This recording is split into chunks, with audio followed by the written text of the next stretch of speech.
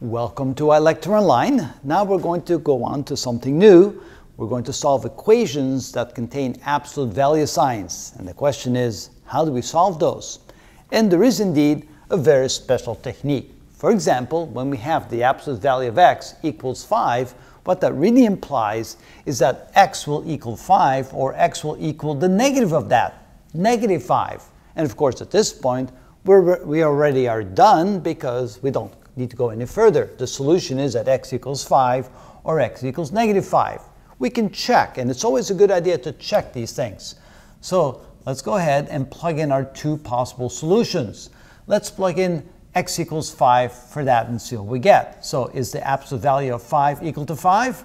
And of course that's correct because the absolute value of 5 is indeed 5. What if we plug in the other solution, negative 5? And you can see that the absolute value of negative 5 is equal to a positive 5. And so you can see that matches the solution that we have over there. So yes, indeed, those are the two correct solutions, x equals 5 or x equals negative 5. So essentially, that becomes technique.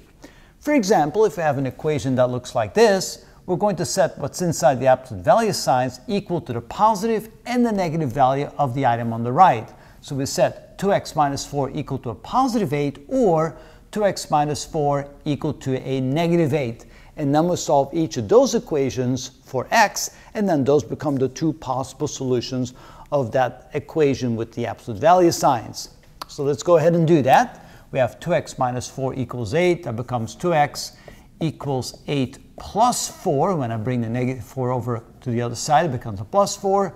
2x equals 12. Divide both sides by 2 we get x is equal to 6. That's one of the solutions, or possible solutions. We do, it the same, we do the same for the other equation. We have 2x equals negative 8 plus 4. When we bring the negative 4 across, it becomes a positive 4. 2x equals negative 4. Divide both sides by 2. We get x is equal to negative 2.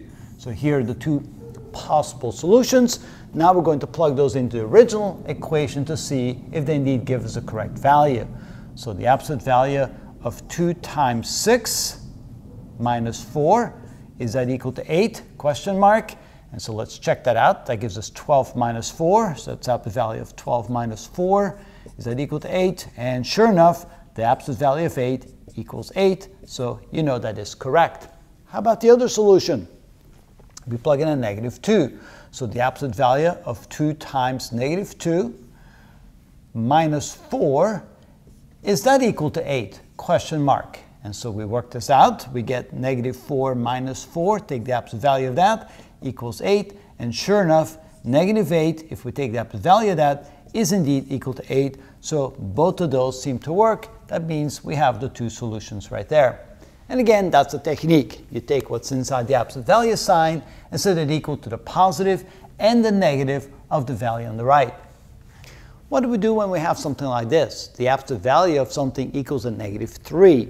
Now that seems kind of odd because by definition, when we take the absolute value of something, we should get a positive value, not a negative value. So that looks suspicious. But let's go through the process as if we ignored that hunch that we have there. And so we're going to set what's inside the absolute value signs equal to the value over here, and the negative of that value, which would be a positive 3. So we're going to set x equals to negative 3, or we're going to set x equals to a positive 3 and see what happens. So we'll plug these two values in here because we're going to check to make sure that uh, we have this correct. So plug in the absolute value of our first solution, negative 3, and is that equal to a negative 3 question mark. And we already know that when we take the absolute value of a negative number, we get a positive number. So 3 does not equal negative 3, so this is not a possible solution. Let's try the other one. The absolute value of a positive 3 is that equal to a negative 3? And again, we know that when we take the absolute value sign of a, of a number, we get the positive value. So you know that is not equal. The absolute value of 3 is not equal to negative 3. So therefore, this is also not a solution. In other words, just like we suspected, there's no solution to that third equation. But the important thing that we learned here is that when we try to solve an equation that have an absolute value sign that looks like this, where we have the quantity on the left inside an absolute value sign and the number on the right, we're going to set what, inside, what is inside the absolute value sign equal to the positive and the negative value of that. So x equals 5 or x equals negative 5. That will then give you the two possible solutions. The same over here. 2x minus 4 equals to a positive 8 or 2x minus 4 equals to a negative 8. And that's the technique that you're going to use to solve this type of equation. Now, of course, we're going to see some other examples that we need to probably manipulate a little bit differently, but ultimately we'll end up with the same kind of approach, and you'll see how that's done in the next few examples.